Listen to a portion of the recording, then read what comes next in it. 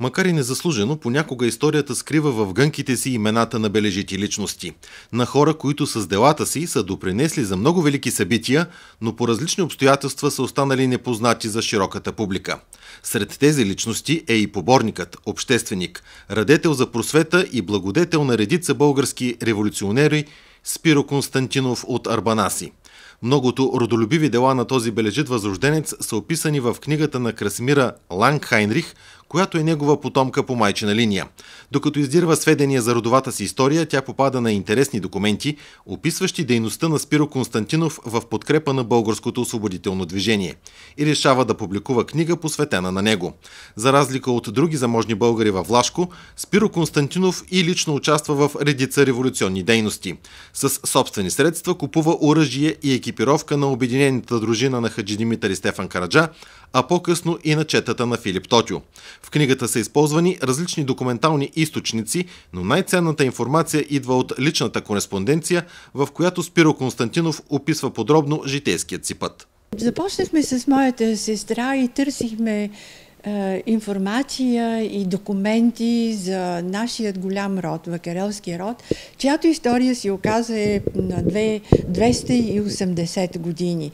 Това ни струваше 4 или 5 години работа в архивите, в Националния държавен архив в центъра на София и особено много ни помогна военният архив в Велико Търново с директора Светлин Радев, както и с целият му тим. По този начин успяхме първо да възстановим една история на род и моята сестра състави родословно дърво беше наш дълг не само да обърнем внимание на вакарелския род по бащина линия, но и на майчин, по майчина линия, рода Костадинови, по-късно Динови. Много малко се знаеше за този род и не можехме да си представим, че една от най-видните личности направила изключително много за оборудването, въоръжаването, за купу... на, на четата, обединената чета на Хаджи Димитър и Стефан Караджа, на а, а,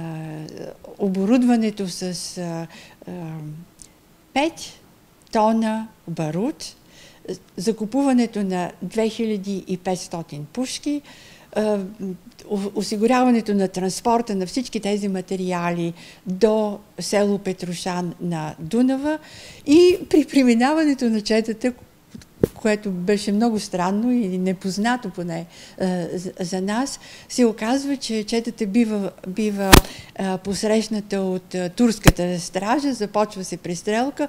Лодкарите, които са на Каика, на този, големият, на тази голяма лодка, на този Каик, са принудени да потопят Каика собственика на Каика, капитан Кордели, научава истината, връща се в Букурещ, да става пред Спиро Константинов и заявява, че ще го предаде на румънската полиция, ако той не възстанови щетите за Каика. И знаете ли колко е струвал един Каик за времето си?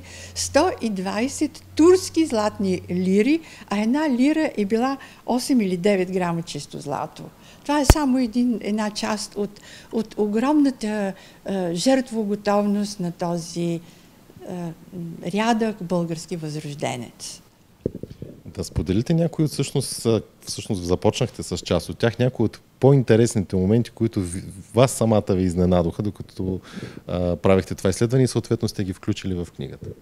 по-интересното беше, че намерихме в Националния държавен архив четирите автентични писма на Спиро Константинов. Това беше, което беше златното съкровище за нас и всяко едно писмо е, е от 15 до 16 страници, написани естествено на ръка, това е ръкопис, с такъв възторжен възрожденски тон и с такъв език, който ние отдавна сме забравили. И фактически в тези писма той описва целия си живот, от ранното си детство до последните си дни.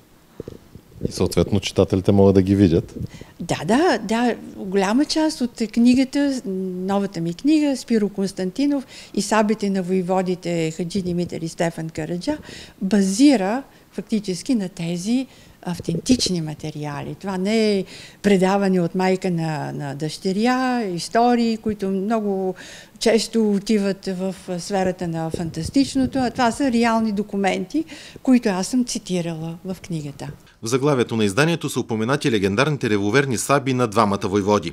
В книгата е описана историята как Спиро Константинов ги купува в Букурещ по молба на Хаджи Димитър. Сабята на Стефан Караджа се пази в историческият музей в Русе, докато за тази на Хаджи Димитър и до днес се водят спорове. Красимира Лангхайрих смята, че и двете версии имат своите доводи, но според нея оръжието на войводата е във Варна. Последните изследвания от преди около 5 години, от, направени от Софийския университет и тима на, на, на господин професор Пламен Митев, до някъде е, е, е спорен този въпрос. Дали сабета на Хаджи Димитър е действително тази, която се пази в този чудесен музей, или пък е в а, музея в град Сливен. Но и двете версии в моите очи, това казвам аз, моето лично мнение, са равностойни. И самия факт, че тук се пази а, тази а, а, бележита саби, освен това има този прочут номер 345 на Стефан Каразай 346, така с голяма вероятност е тази сабя, поне в моите очи. С голяма емоция и заслужена гордост Красимира Ланхайрих рисува с думи образа на Спиро Константинов, многобройните му дела в подкрепа на поборниците, на различни обществени организации и просветителски центрове, работата му с видни водачи на българското освободително движение във Влашко. Беше много вълнуващо много вълнуващо да открия, да открия автентичните, написани от него, без с открито сърце до тези писма до Стоян Заимов. И а, много се радвам, че моя съпруг и моя син бяха заедно с мен и всички се а, взеха участие по една или друга форма в разкриването на този а, исторически материал за една историческа личност, която остава в сянката на историята. Той, той не се вмества, той е Спиро Константинов, е богат търговец, 40 години прекарал в Букурещ и а, а, настоя... член на настоятелството на добродетелната дружина. И той не се вмества в тази класическа а, схема на един богат търговец и благодетел.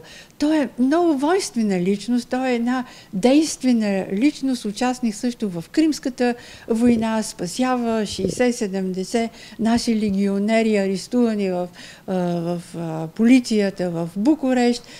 Не само, че гарантира за тях, но им плаща дълговете, раздава им пари и им намира работа и подслон в мушията на Петър Стоянов царя и по този начин той запазва ядрото на легионерите, които идват от, заедно с Раковски, от Белград, от Сърбия и се установяват в Букурещ. Така че много дълга е неговата революционна дейност и аз повтарям, той е революционер. Той е не само един богат търговец и благодетел. В книгата е описана и неговата благотворителна а, дейност, която заслужава внимание. Подкрепата на, а, на вестника Свобода, на брилянтният а, Любен Каравелов. А, а, основяването на организацията Българско общество, която пък субсидира първото пътешествие, първият, първото тръгване на Васил Левски през България. И той е познат на Васил Левски. Той е създава не само основател, но и щедър дарител на всички, на всички на, на културни и политически организации в Букурещ, като се започне е, читалището на Раковски, читалището а, а, Братска любов, създаването на книжовното дружество. А книжовното дружество е началото на Българската академия на науките. Така че той, той човек фактически е създал българ, един от създателите на Българската академия на науките, на Българското училище, църква, свети, свети Кирил и Методий, където преподава Ботев, а по-късно неговият, неговият брат поема тази длъжност. Така че той е навсякъде и той е една много странна личност и той е част от чудото на българското възраждане. За извършваната революционна дейност Спиро Константинов неколкократно е арестуван от румънските власти и прекарва в затвора близо година. През 1885 година се завръща в България. Умира през 1911 година и е погребан в Арбанаси.